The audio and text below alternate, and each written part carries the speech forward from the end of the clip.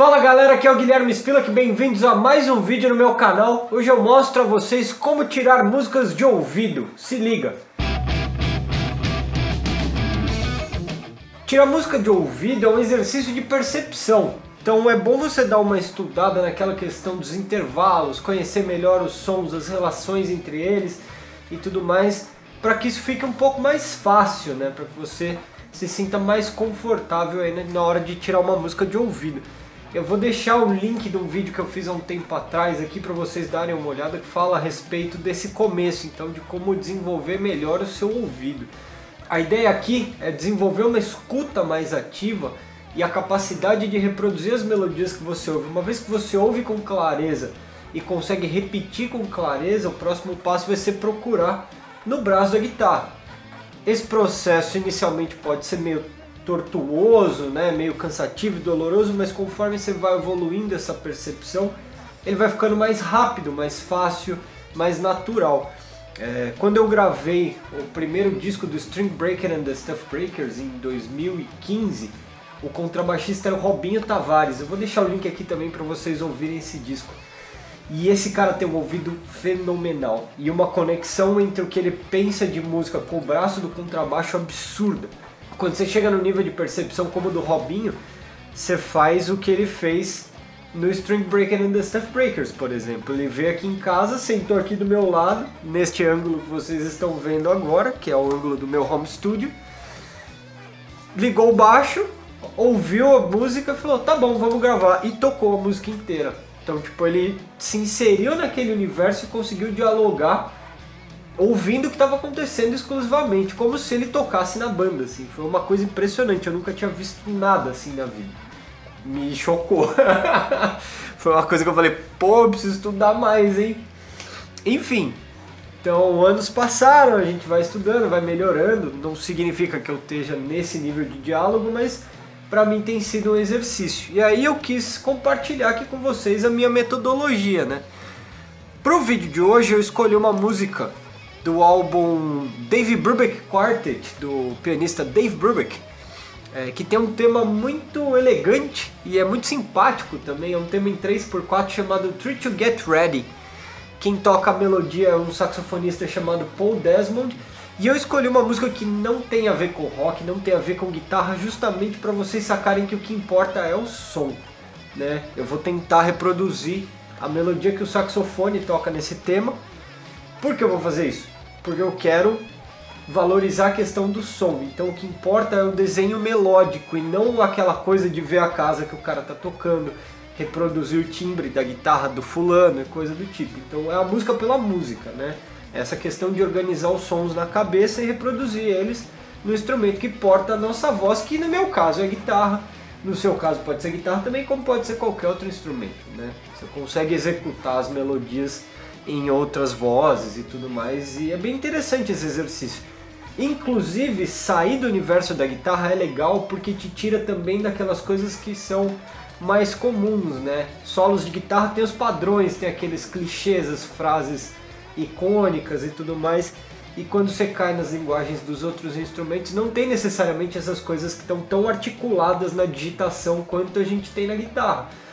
Então vale a pena para desenvolver a musicalidade também e para procurar o som sem aquela roubadinha de ir no YouTube ver a mão do cara, sabe? Então é legal fazer isso. Enfim, essa música, eu conheço esse disco tem um tempo, mas eu nunca tirei essa música. A gente toca a Take Five, que é o clássico desse disco com String Breaker, né? Tem uma versão Safe Sessions dela, eu vou deixar o link aqui também para vocês ouvirem. Mas Three to Get Ready é uma música que sempre me pegou por esse tema em 3x4 que alterna a sessão de solo no 4x4, né? Então ela fica simpática assim. É, é um tema feliz, sabe? Ele deve ser maior e tal. E é uma melodia que eu gosto bastante, eu acho ela simples, mas muito bem resolvida.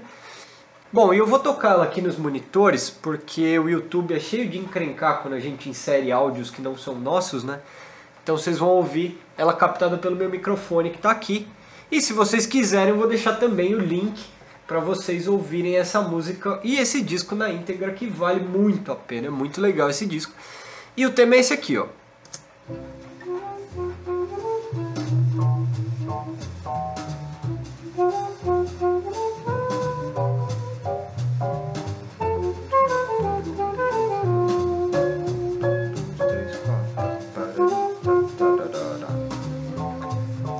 E foi o tema. Né? Se vocês repararem aqui, tem aquela história da alternância dos compassos, né? Tap, tarari, tap, tarari, um, dois, três, quatro, um, dois, três, quatro, um, dois, três, um, dois, três, um, dois, três, quatro, um, dois. Então já é legal sacar isso. Tem um acento que lembra o Just Feel, né? Esse acento de swing que é o tap, tarap, tap, né? Tap, tarap, tap, tarap, tap, né? Já tem esse feeling mais jazzístico na interpretação. E aí a ideia é tentar copiar a melodia. Então primeiro eu vou usar a voz para isso, porque é um instrumento mais fácil, não preciso procurar casas nem nada. E vai ser um jeito de me ajudar a decorar essa melodia. Então eu vou ouvir de novo. Tap tarari tap tarari tap tararira é isso que acontece aqui. Tap tarari tap tararira. Tap tá, tá, dari, tá. Essa é a primeira nota, né? Tá. E aqui a gente faz, a gente procura ela, né? Tá, tá. Ó. É um Mi. Agora vamos ver essa melodia então. Tá, tará. Meio tom, né? Tará, tará, tará.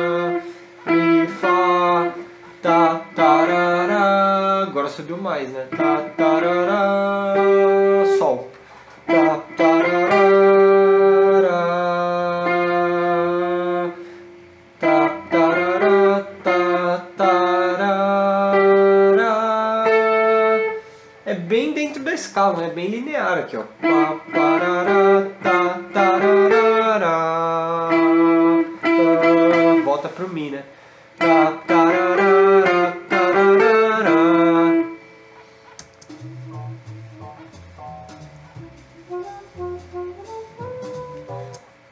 frase, né? Faz o mesmo desenho melódico, provavelmente são as mesmas notas. Vamos tentar.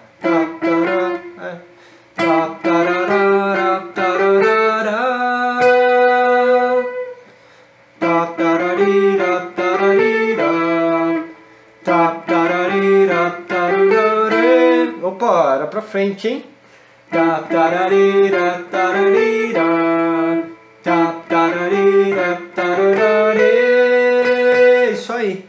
Às vezes acontece da mão ir para um lado e a melodia que você está cantando para outra. Então aí você volta e procura na guitarra o som que você queria, porque a sua cabeça é quem manda, né? Então você não tem que voltar a sua voz para onde a guitarra foi, sim encontrar na guitarra o som que você cantou, né? Que foi o que aconteceu aqui. Eu tinha que ir pro Si e a minha mão me jogou de volta pro Mi, né? Então eu cantei o tap tararari, toquei ri, não deu, né?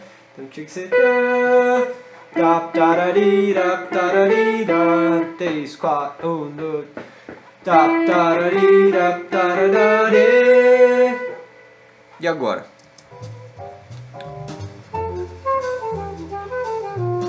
Aqui tem nota, hein? e agora, José? De novo, vai. Ah, uma coisa que me ajuda é a seguinte, né? Naquela história de estudar os intervalos, é, as segundas vão ficando mais claras na cabeça, né? Segunda maior, segunda menor e tudo mais. E você vê na melodia que é uma nota vem depois da outra e é um sentido de escala. Então é, a percepção de segunda maior e menor me ajuda no ta, tará, ta, tarará, tará, segunda menor, tará, segunda maior, tará, né, ta, tarará. Então eu sei que é meio tom, depois um tom, porque as segundas estão bem frescas na minha percepção, né. Então, seguindo aqui pro né, essa é a melodia dessa terceira frase, vamos conferir.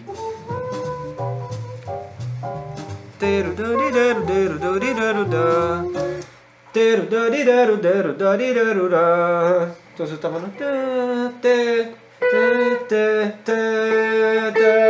volta aqui pros lá.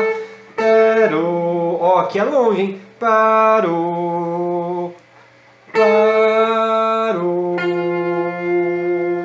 Não é nem tu, nem pó, é tu. Tero, dare. Longe de novo, hein? Não é, não serve mais aqui, então. Tero, dare, tero,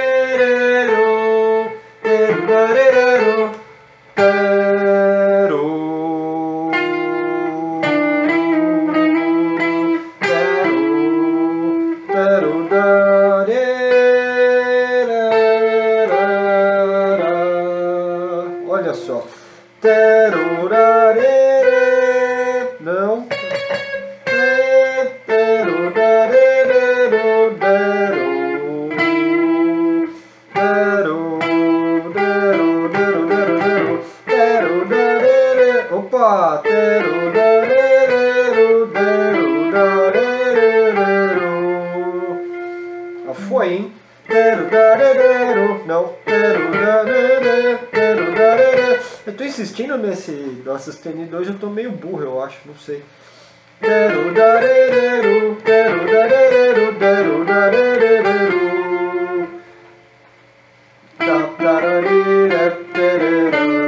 Né, a frase final é mais simples e intuitiva.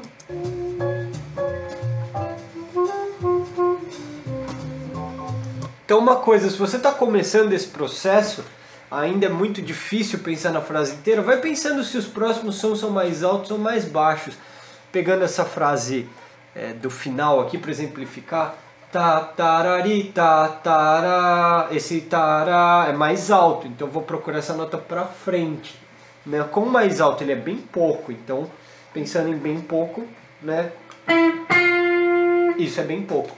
Então já funciona. Tará, tá, tarará, pra frente de novo. Tará, tará. Só que agora é mais longe, né? Então por isso que é uma segunda maior aqui. A relação entre esses dois sons, né? Tá, tarará, tá, tá. Ó, agora é aqui, né? Tá, tarará, Agora, ó lá. Tarararo. Voltou, né? Tarararo.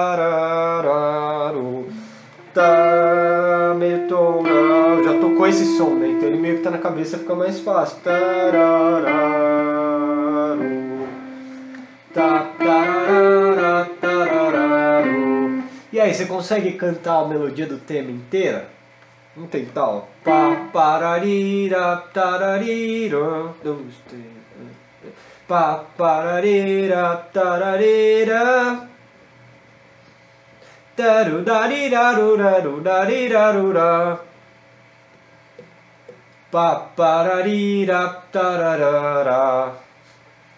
Deu certo.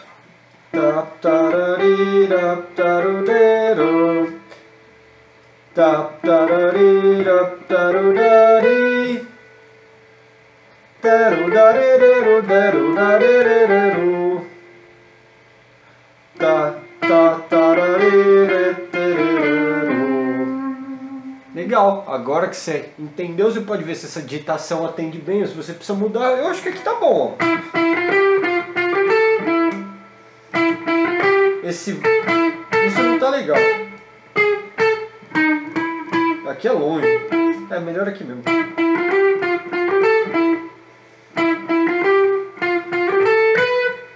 Também tá bom.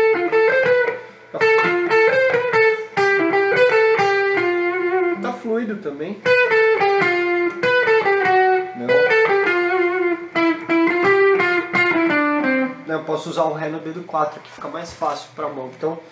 Papararira, tararara. Papararira, tararara. Darudareru, darudareru, darudareru. Darudareru, daru, darudareru, darudareru, darudareru. Aí você treina para deixar natural. De novo tentando tudo.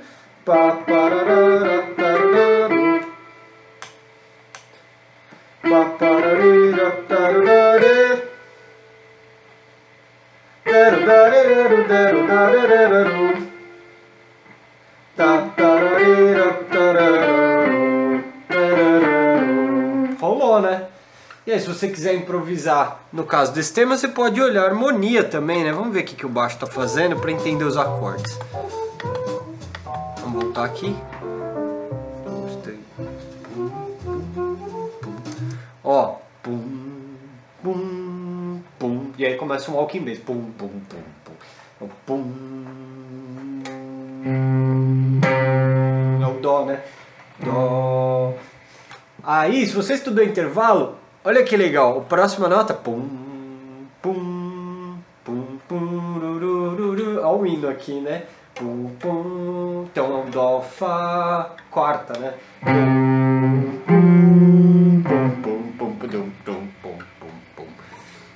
O que, que vem depois?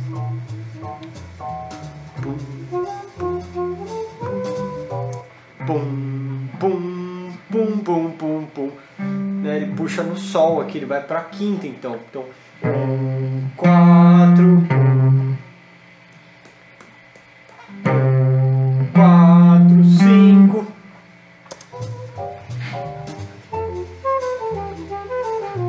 Agora ele caiu, né? Pum, pum. Pum, pum, pum, pum. Então acho que é Fá, Mi, Fá aqui no terceiro. E. de novo o Dó, Fá, Dó. Então essa música, se você olhar as notas, né? Mi, Fá, Sol, Lá, Si, Dó. Tem Dó maior. E os acordes também colaboram para a gente reforçar essa ideia de tonalidade Dó maior. Então, na hora de improvisar, se a base continuar nessa levada, você pode tentar as notas Dó maior. E se você for procurar o resto das melodias que estão nessa música, você pode ir já direcionado nas notas da escala de Dó maior. Se você conhece a escala de Dó maior pelo braço da guitarra, fica muito mais fácil desenrolar as melodias também. Né? Mas, você viu que no primeiro momento, o importante foi o som. Então, eu achei a melodia sem ficar pensando que nota estava tocando, que escala estava tocando. O importante era entender realmente o que a melodia desenhava, né? Então depois disso é que a gente pode analisar e aí jogar com as regras ao nosso favor. Mas é muito interessante fazer esse exercício de ir atrás do som pelo som, sabe? Eu acho que te ajuda quando você pensa nos a colocar isso no braço da guitarra também. Então tentem aí exercitar essas ideias também, pegar melodias, tentar tirar na guitarra, tentar tirar as músicas inteiras, os solos e tudo mais. Esse foi o primeiro passo, né? Pegar uma melodia acessível e desenvolver ela pelo instrumento. Conforme você vai pegando experiência, né? Seu ouvido vai ficando mais ligeiro, a sua capacidade de procurar a nota na região certa vai aumentando, você pode ir complicando esses desafios, então colocando novas linguagens ou coisas mais rápidas e tudo mais. E a dica que eu deixo para vocês também, o YouTube desacelera os vídeos, vocês sabem, né? Aqui embaixo na, naquela engrenagemzinha você pode mudar a velocidade de reprodução. E aí com isso você pode abaixar a velocidade das buscas e ouvir as frases mais espaçadas. E quando você faz isso, você consegue ter mais tempo para identificar aquele som específico que passou muito rápido. Né? Então é um bom exercício também. Se você não está conseguindo cantar uma melodia, porque a frase é muito rápida e você não está tendo tempo de entender, abaixa um pouco a velocidade, tenta ouvi-la devagar e aí depois você vai construindo de novo essa frase até ela chegar na velô. É isso aí. Eu espero ter ajudado vocês, eu espero que vocês curtam esse vídeo, né, que vocês usem essas ideias, tentem aí é, tirar músicas de ouvido, começando pelas melodias, depois complicando mais, tirando solos mais complexos e coisas do tipo. Né? Façam esse experimento, isso vai ajudar muito na musicalidade de vocês, a pensar mais através dos sons e não pelos blocos, desenhos e tudo mais. E a gente se vê na semana que vem. Muito obrigado pela atenção. Se você gostou desse vídeo, se inscreve aqui no canal. Né? Clica no joinha aí, clica no sininho também, que você vai ser notificado toda vez que tiver vídeo novo. Toda terça ao meio-dia tem vídeo aqui para vocês. Até a próxima semana e valeu!